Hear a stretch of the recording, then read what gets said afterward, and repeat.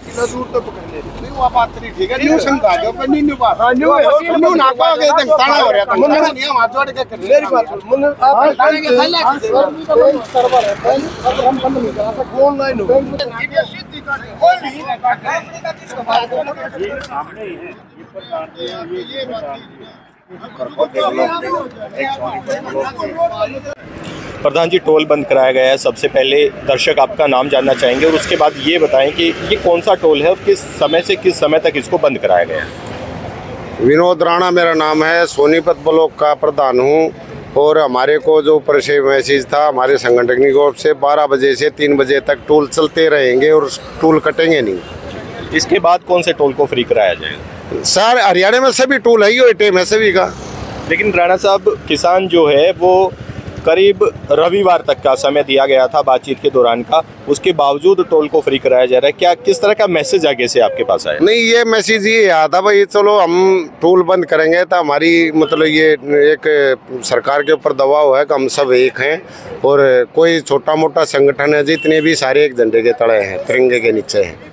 तो आपको क्या लगता है किसान दिल्ली जाएँगे ज़रूरी हो गया है ये सब? नहीं ये कोई ज़रूरी नहीं है किसान दिल्ली जाएँगे किसान अपने घर पर रहेंगे। और हमारी बातें भी मान ली जाएँगी और मोदी जी शांतिपूर्वक मानेंगे और हम भी शांतिपूर्वक उनसे वार्ता करेंगे। शंभू बॉर्डर पे तनातनी चली उसके बाद खनौरी बॉर्डर पे भी काफ़ी संख्या में किसान चोटिल हुए हैं। उसके बारे में क्या कहेंगे? सरकार का किस तरह का रवैया है? देखो सरकार का रवैया भी ये गलत है जो ये नाम तो मैं इनका नहीं जानता ये जहाज़ से जो हैं ड्राउन ड्राउन जो आँसू गैस के गोले द्वारा छोड़ हैं, ये गलत है। बाकी किसान है, ये किसान मेरे हिसाब से तो सबसे प्रथम किसान ही है। और किसान का शब्द छोटा है, पर इसकी वो बहुत बड़ी है। किसान का मतलब है अन्नदाता, अन्न पैदा करना। और वो हरेक जीव के मुँह मरने वाला देता है। और वो ये चाहता है, भाई सब अपने घर पर सुख शांति तरह हो और ये जो हमारे भाई थोड़ा रोड जाम का या ट्रैक्टर मार्च का ये कर रहे हैं, कुछ किसान कर रहे हैं, इनको समझा दीजिए हम, बैठ कर सभी भाइयों को। भाई, हमने शांतिपूर्वक अगर अपनी मांग करनी है तो अपने घरों से झंडे लेकर निकलेंगे और हमने दिल्ली पहुँचना होगा तो हम अठारह तारीख को इसका ऐलान है। प्रधान जी कुछ किसान नेताओं को डिटेन किया गया पुलिस द्वारा उठा लिया गया। हम्म। कैसी यातनाएँ उनको दी गई? क्या वो किसान भाई आप लोगों के बीच वापस आ गए हैं?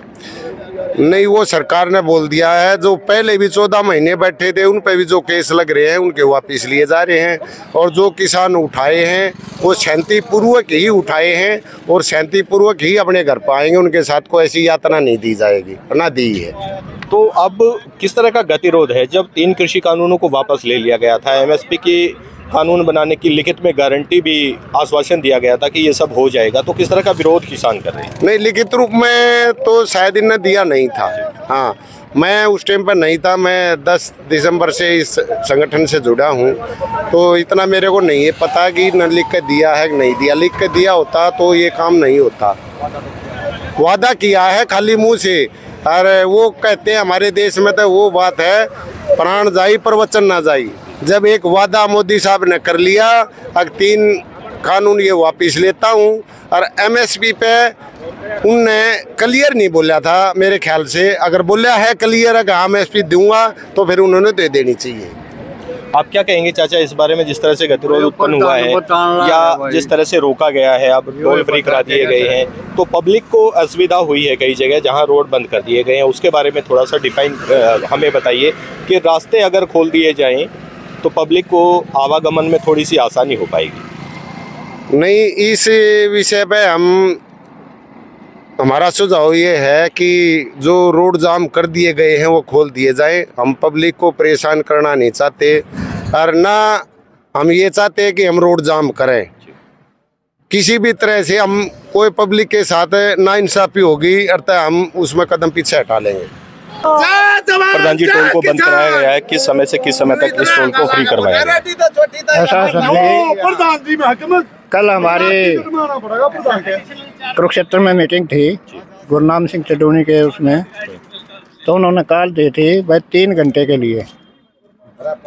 बारह बजे से लेकर तीन बजे तक। टोल फ्री रखने हैं। आवाजाही ऐसे की तैसी रहेगी और टोल फ्री करवाने हैं। तो हमने उस काल पे टोल फ्री करवाए हैं। और कल का जो प्रोग्राम है हमारा ट्रैक्टर मार्च का है तो पूरी तहसील में हर तहसील में ट्रैक्टर मार्च से हम और यात्रा निकालें निकाला जाएगा। निकाला जाएगा। और परसों की फिर कुरुक्षेत्र में मीटिंग है सभी संगठनों की। जितने भी ऑल इंडिया में संगठन है सभी संगठनों की मीटिंग है। उसके बाद जो पता लगेगा वो बता दिया जाएगा प्रधान जी कुछ नेता जो है किसान आंदोलन से अलग हो गए जैसे राकेश टिकैत का बयान अभी नहीं आ रहा है तो उसके बारे में क्या कहेंगे? ऐसा है सर जी राकेश टिकैत के भी बयान आ रहे हैं और चडूनी भी अलग थे चडूनी के भी बयान आ गए और राज्यवाड़ के भी बयान आ गए सभी के बयान आ चुके हैं कि हम किसानों के साथ। तो अगर रविवार की वार्ता विफल होती है तो आप लोग दिल्ली कुछ करेंगे? बिल्कुल इसमें कोई शक नहीं वहाँ से जो पंजाब से बॉर्डर पर जितने भी आदमी हैं पंजाब के वो से छोड़ते आए होंगे हम दिल्ली कूच करेंगे। तो दिल्ली जाकर कौन सी जगह प्रदर्शन करना चाहते हैं? कहाँ जाकर वहीं टिकरी बॉर्डर टिकरी बॉर्डर ही आपका। सिंगू बॉर्डर टिकरी बॉर्डर जो आप लोगों के लिए पहले से जगह निर्धारित थी क्या उसी जगह जाके आगे के कार्यक्रम तय किए जाएँगे? उसी जगह।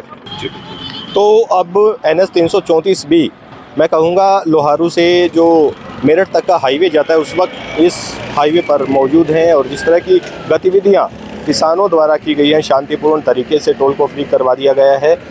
करीब 12 बजे से लेकर दोपहर बाद तीन बजे तक टोल को फ्री रखा जाएगा। अब देखते हैं आगे क्या होगा। सर, टोल बंद करा दिया गया है। आपका क्या नाम है? कब से काम करते हैं और ये कौन सा टोल? झरोटी टोल प्लाजा है सर ये और जितेंद्र मेरा नाम है। यहाँ पे मैं मैनेजर हूँ। कुछ किसानों का आह्वान हुआ है। यहाँ आके हमसे बोला है कि 12 से 3 बजे तक टोल बंद रहेगा। तो हमने उनको देखते हुए अपना टोल बंद कर दिया टोल फ्री कर दिया। तो किसानों की तरफ़ से किसी तरह की ज़बरदस्ती? नहीं अभी तो किसानों की तरफ़ से कोई ज़बरदस्ती नहीं हुई है। और अभी शांति प्रिय हमने बंद कर दिया टोल। जिंदाबाद जिंदाबाद। जिंदाबाद। जिंदाबाद जिंदाबाद। जिंदाबाद। जिंदाबाद जिंदाबाद। हमारी एकता जिंदाबाद। जिंदाबाद जिंदाबाद। हरियाणा सरकार मुर्दाबाद। मुर्दाबाद मुर्दाबाद।